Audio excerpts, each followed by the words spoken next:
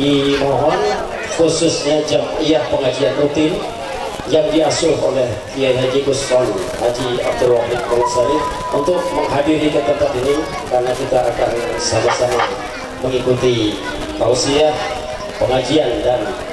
agar supaya kita mendapatkan ilmu yang bermanfaat. Dan selanjutnya bersama Vista yuk kita kita sambut Pak Sinta Sang Jaya Vista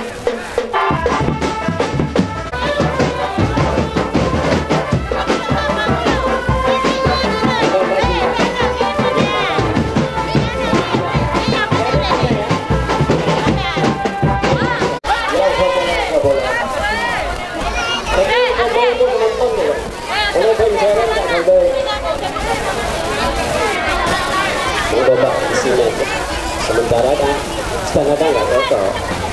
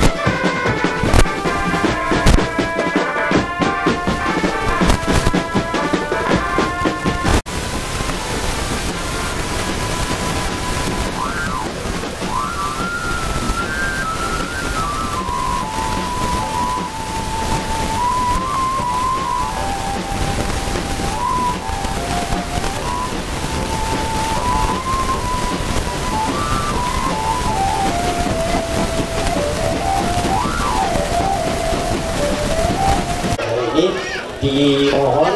khususnya jamiah pengajian rutin